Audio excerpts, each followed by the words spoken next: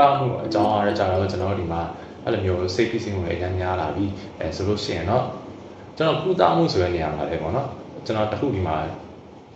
ဒါကျွန်တော်အခုလုပ်နေကြတဲ့အရာလေးကျွန်တော်ဟိုကောင်းတဲ့အရာလေးကျွန်တော်ညင်ပြောရပါတော့ကောင်းတဲ့အရာလေးဆိုတာခုနောက်ပိုင်းဆိုလို့ရှိရင်ခင်မီလာနဲ့အများတချို့ community တွေမှာဆိုလို့ရှိရင်လို့ကျွန်မရဲ့အတွက်လိုမျိုးဟို employee assistant program လို့ခေါ်တဲ့လိုမျိုး employee တွေကို assist ပေးမလား employee တွေကိုအကူအညီပေးရထောက်ပံ့ပေးရစိတ်ပိုင်းဆိုင်ရာထောက်ပံ့ပေးရသူတို့ counseling session တွေပေးယူရဲပြီးတော့မှဒါမှမဟုတ်ရှင်လည်းအဲတခြားသောအဲ့လိုမျိုး counseling mental health နဲ့ပတ်သက်တဲ့ workshop တွေလုပ်ပေးရပြီးမှ stress ကိုဘယ်လိုဖြေဖြောင်းအောင်လဲ seminar တွေပါလုပ်ပေးရဒါတွေကတိတ်ကိုကောင်းပါတယ်ပေါ့နော်ဒါတွေကသူတို့အတွက်အဲဟိုဒီလုံသမားတွေအတွက်အရင်အောင်အထောက်အကူဖြစ်တယ်အလုံသမားတွေအတွက်အသုံးပြုရတဲ့လက်တွေ့ကျတဲ့အရာလေးတွေဖြစ်တယ်ပေါ့အဲအဆင်ပြေအရင်ကောင်းတယ်အဲတို့ပေမဲ့လည်းဘယ်လိုမျိုးဖြစ်တတ်လဲဆိုတော့ ဟိုပါပေါ့ဒီဟာတွေပေးပြီးတော့မှကျွန်တော်တို့ကဟိုဒီဟာတွေပေးတယ်ဆိုတာကဟိုစောစောကပြောရအလုပ်သဘောတဘာဝအကြောင်းဖြစ်တဲ့အရာတွေကိုဖြည့်ရှင်းဖို့ဒါတွေပေးတယ်ဆိုရင်တော့ဒါကကောင်းတယ်ပေါ့နော်တို့မှလည်းမကောင်းတာတခုကကြတော့တကယ်လို့ညာအလုပ် ခွင့်ထဲမှာအလုပ်သဘောတဘာဝအကြောင်းမဟုတ်ပဲနဲ့အလုပ်ထဲကစနစ်ပိုင်းဆိုင်ရာကိစ္စတွေစနစ်ပိုင်းဆိုင်ရာကိစ္စတွေတော့အဆင်ပြေရမျိုးအလုပ်ထဲမှာဥပမာပေါ့နော်အသင်းတွေအဖွဲ့တွေ꿰နေတာမျိုးဒါဆက်ဆိုင်ရဲ့အဆင်ပြေကြဘူးဒါမှမဟုတ်ဆိုရင်အလုပ်မှာအလုပ်ဝင်ပြီးနေတာမျိုးအရန်ခိုင်းလို့အလုပ်သမားအရန်အောင်မှဟိုပေါ့နော်စိတ်မောရတာမျိုးအဲကိုယ်စိတ်နှလုံးကြုံကြုံကြာသွားတာမျိုးအဲဒါမှမဟုတ်လို့ရှိရင်လည်းဟိုအလုံးမှာလိုမျိုး ပေးတဲ့ငွေကြေးကမလောင်းလာလို့ဒီလို minimum wage တွေပါတယ်အတိုင်းနဲ့မလောင်းလာအောင်ဒါရဲ့ကြောင့်အဲ့လိုမျိုးဖြစ်နေတာမျိုးပြောချင်တာဒါစနစ်ပိုင်းဆိုင်ရာဟို ထပ်ပြီးတော့တိုးပြီးပြောမှဆိုရှင်စီမံမှုပိုင်းဆိုင်ရာပေါ့နော်အဲ့လိုမျိုးတွေနဲ့ဆိုလို့ရှိရင်တော့ဒီဟာမျိုးတွေဒါမျိုးတွေလောက်တာထက်ဒီလိုမျိုးစနစ်ပိုင်းဆိုင်ရာကိစ္စတွေကိုဖြေရှင်းတာပို့ပြီးတော့အဆင်ပြေလိမ့်မယ်မဟုတ်ဘူးဆိုရှင်ဘာနဲ့တူတယ်လဲဆိုတော့ဟိုယောဂပေးပြီးတော့ဆေးမီတိုလေးတွေပေးနေရတယ်လည်းတူတယ်ပြီးတော့ပို့ဆိုတာကြတော့ငါတို့ကတော့ပြဿနာပေးမယ်မင်းတို့ကတော့ဖြစ်လာတဲ့ပြဿနာမင်းတို့ဘာလာမင်းတို့ဖြေရှင်းအလောက်ကတောင်းမကြည့်ဘူးနဲ့အလောက်သမားကိုမင်းတို့ဒါကဖြစ်လာတယ်မင်းတို့ ဟိုငါတို့ကတော့ဟုတ်တယ်ငါတို့ကဟုတ်လို့ပြောနေငါတို့ကပေးလိုက်ရဲဆိုတာတက်ပေါ့နော်ဒါမင်းတို့ပြဿနာပဲမင်းတို့ကမင်းတို့ဖြေရှင်းအလောက်ဘက်ကပေးလိုက်တယ်ဆိုတဲ့ဟာကိုလုံးဝတောင်းမယူတာမျိုးဖြစ်သွားတတ်တယ်ပေါ့နော်ဆိုတော့အဲ့အရာတွေတော့သတိချက်စေချင်တယ်ဆိုတော့အလုပ်ကိုယ်နိုင်ကြောင့်ဖြစ်တဲ့ဟာအတွက်ဆိုလို့ရှင်တော့ဒီကာကွယ်ရေးတွေကုသရေးလုပ်ပေးတာကောင်းတယ်အကုသရေးပိုင်းမှာဆိုလို့ရှင်ဆက်သွန်းနီးလေးတွေပါလေးတွေပေါ့နော်အဲ့လိုမျိုး assistant ရေးပေးတာတိတ်ကိုကောင်းတယ်ဒါပေမဲ့လည်းဒီလိုမျိုး အလောက်ခွင်ရဲ့ဒီ snip ပိုင်းဆိုင်ရာကိစ္စအကြောင်းဖြစ်တာဆိုလို့ရှိရင်ကျွန်တော်ပြောချင်တာဒီအောက်ဒါမေတို့ရဲ့စိတ်ပိုင်းရဆိုင်မေတို့မေတို့ရဲ့တကူကြီးပြဿနာပဲဆိုပြီးတော့တောင်းလွှဲလိုက်တာမျိုးတော့အဆင်မပြေဘူးပေါ့နော်ဆိုတော့ကုသမှုဆိုတဲ့မှာလူပဲကုသတာမဟုတ်ပဲねကျွန်တော်စနစ်ကိုလည်းကုသရမယ်အပိုင်းတွေပါတယ်တော်ဆောင်သွားရနော်အာစနစ်တွေရောစနစ်ဆိုတာကျွန်တော်စနစ်ကိုကုသရတာရည်ရှည်တော့ပေါ့နော်စနစ်ကောင်းရင်ကျွန်တော်တို့ခုနပြောသလိုအာကိုကပြောသလို အာ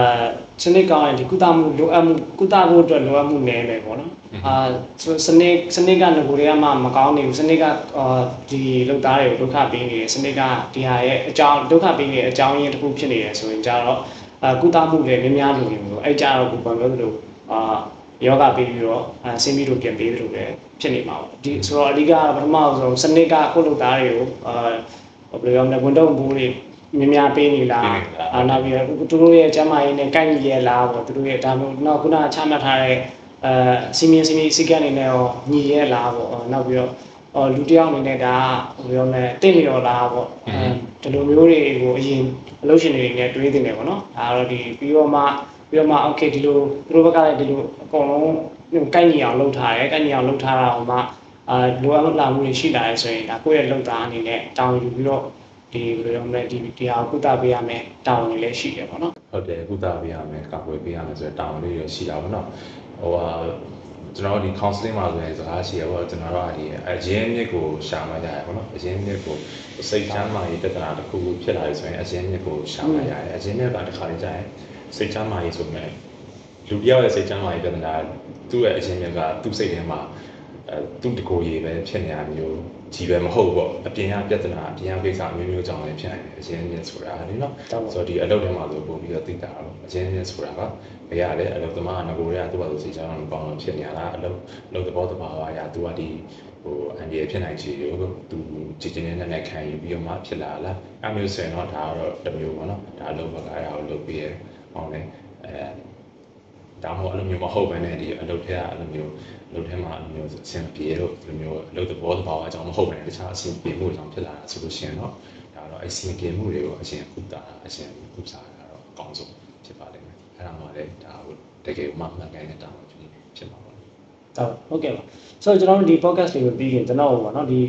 ဒီပေါ့ဒီ topic နဲ့ပတ်သက်လို့ပေါ့ဒီကျွန်တော်ဒီနေ့ရဲ့ theme ပေါ့ဒီကမ္ဘာစိတ်ချမ်းသာရေးနဲ့ဒီ theme နဲ့ပတ်သက်တဲ့ဒီလုပ်ငန်းခွင်မှာစိတ်ချမ်းသာရေးဦးစားပေးပါပေါ့ဒီဒီဟာနဲ့ပတ်သက်လို့ပေါ့ကမ္ဘာစိတ်ချမ်းသာရေးနဲ့ပတ်သက်လို့ပေါ့ဒီစိတ်ချမ်းသာရေးနဲ့ပတ်သက်လို့အကုန်လုံးပေါ့ကိုပွန်နှစ်သက်တဲ့ခေါင်းစဉ်တွေရဲ့အားပေါ့ကျွန်တော်ကိုပွန်ရဲ့အာ tips လေးဖြစ်ဖြစ်အာဟို personal သင်ခန်းစာလေးပဲဖြစ်ဖြစ်ကိုပွန်ဒီကနေရခဲ့တဲ့အတွေ့အကြုံလေးပဲဖြစ်ဖြစ် share ချင်တာလေးများရှိသေးလားအဲ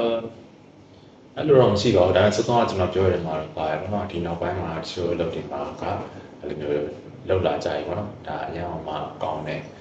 self care တွေ self care seminar တွေပေါ့နော် self care workshop တွေအဲ့လိုမျိုးလုပ်ပေးတာအရင်အောင်ကောင်းပါတယ်ပေါ့နော်အဲဆိုတော့ဒါကျွန်တော်ကကြိုဆိုတဲ့ဒါအခြေလာပါပဲနောက်ပိုင်းမှာလည်းဒါဆက်ဖြစ်လာမယ်လို့ပြောနေပါတယ်ဒါပေမဲ့လည်းစောစောကပြောသလိုပေါ့နော်ဒီလိုမျိုးဒီကိုယ်အလုံးမှာကိုယ်လုံးငန်းခွင်မှာအဆင်မပြေဘူးဆိုလို့ရှိရင် လုပ်ငန်းခွင်တွေမှာဘာအကြောင်းအဆင်ပြေရလဲဆိုတာကိုတော့အရင်ရှာဖို့လိုတယ်ပေါ့။အဲအဲ့ဒါကတော့ကျွန်တော်ကတော့ဒီပါပေါ့နော်။ကျွန်တော်နေရာထဲမှာကျွန်တော်မြင်တွေ့နေရတဲ့ကိစ္စတစ်ခုပေါ့နော်။ဟုတ်ကဲ့ပါ။ကျေးဇူးတင်ပါတယ်။ဟုတ်ကဲ့ပါ။ကျေးဇူးပါတယ်။ Thank you.